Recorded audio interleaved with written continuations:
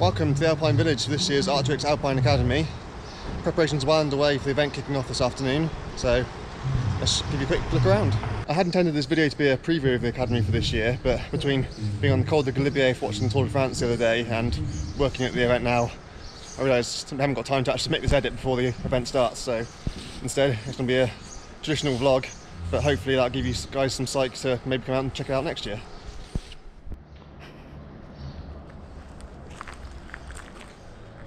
Welcome to Parc Couttet, the home for this year's event.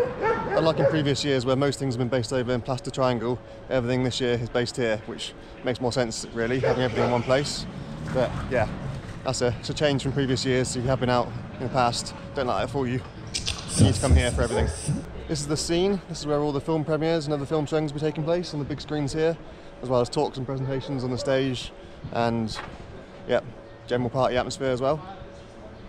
This is the pop-up bouldering wall. There'll be open climbing sessions at various points throughout the weekend, as well as gear demos can take place here, and there'll be a competition on one of the nights as well. These are the food tents on top of the hill here, as well as a bar in the corner as well. So yeah, there'll be usual, I imagine, hot dogs, burgers, and no doubt some kind of melted cheese. This is Haute Savoie in France after all. Got a bit of a photo exhibition here in the woods.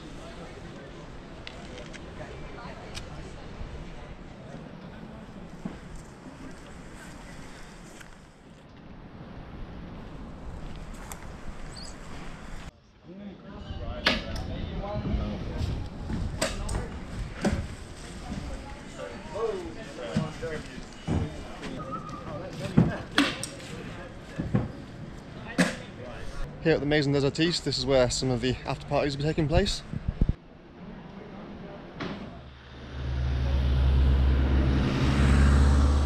The 2024 edition is stacked from ice acts to music acts. The program is full to the rim, and here at Parc Couttet, it is your base camp, bringing the Now, my first, when, I think the first academy I went to, there was like three people and a chamois, and that was it.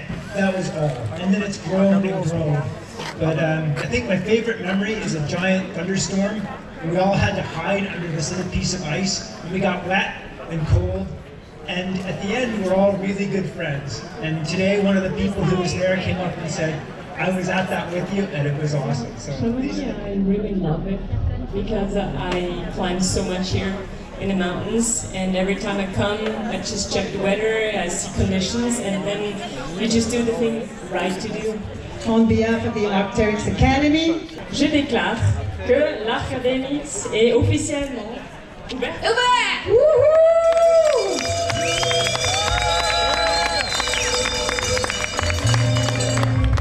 Just like that, after several days of blood, sweat and tears, the 13th Arc'teryx Academy is now open. That is perfectly symmetrical. Everything's too straight. Yeah, I, Need a bit I, wonkiness. I And she's in charge of the hot thing, so. I don't think like you're the right person to talk about wonkiness.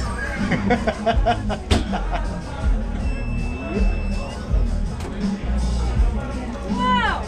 It's like the guy that found your CV at the Oh, minute see. rice is night.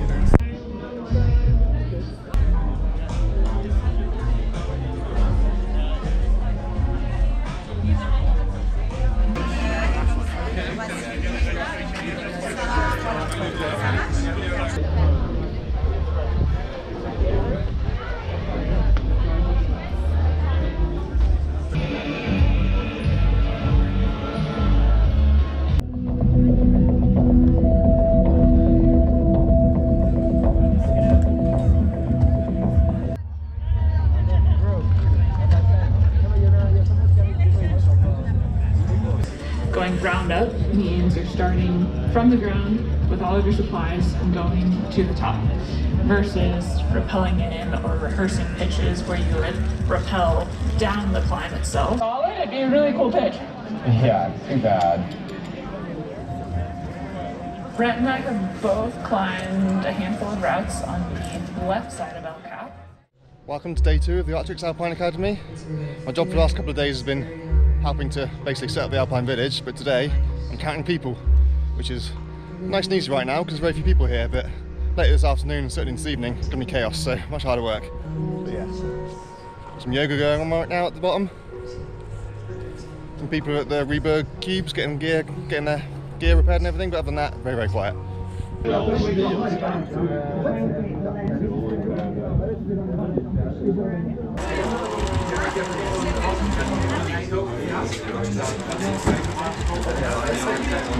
So here at the cubes today, and to basically every day, mix up a little Gore-Tex dry bag stuff sack thing made out of Gore-Tex material scraps that they're upcycling. I mean, the seams aren't taped, so it's not actually fully waterproof, but it is Gore-Tex material, so it's pretty water resistant. And yeah, takes 10 minutes or so. You get to use the sewing machine yourself, so kind of fun. It's also open session at the bouldering, although no one's actually using it yet.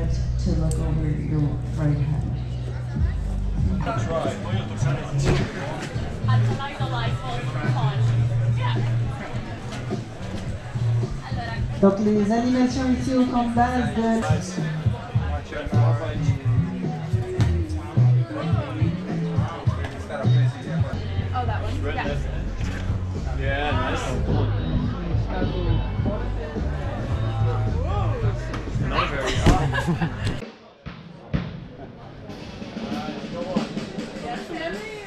It's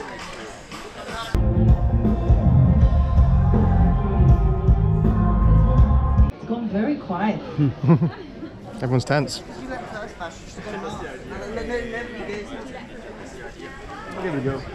That was amazing. That was so awesome because if only you knew how many guys have backed off this route. into the past.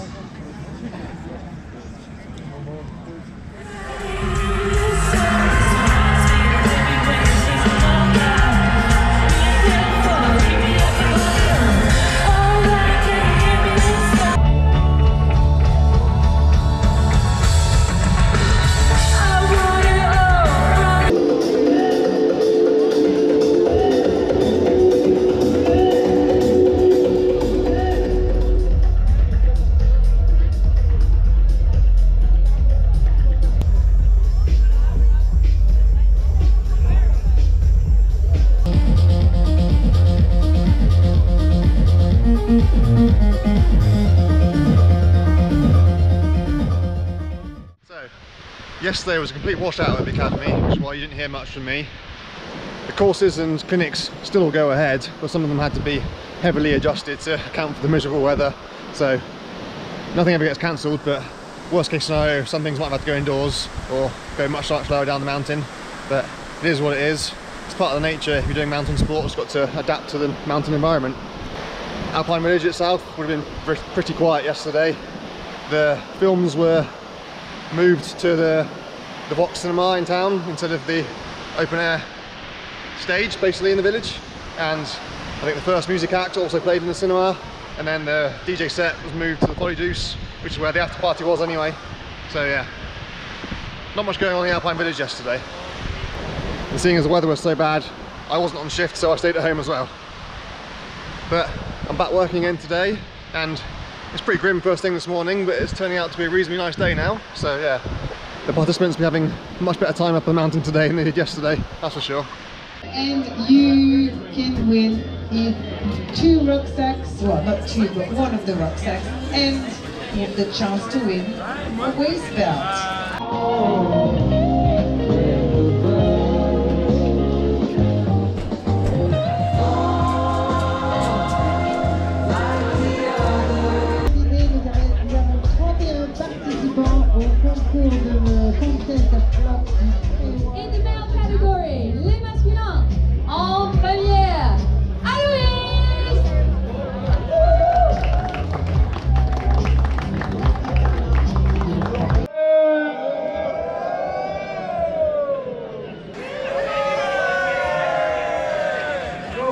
Thank you.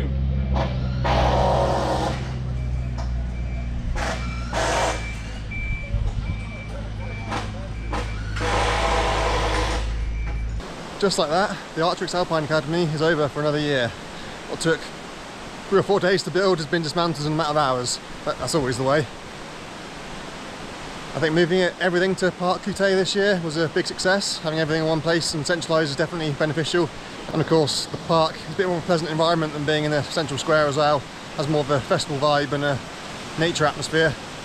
You definitely lose a little bit of footfall from casual passing bystanders who don't know anything about the Arc'teryx Academy, but when it's in the middle centre of town, they'll walk past it.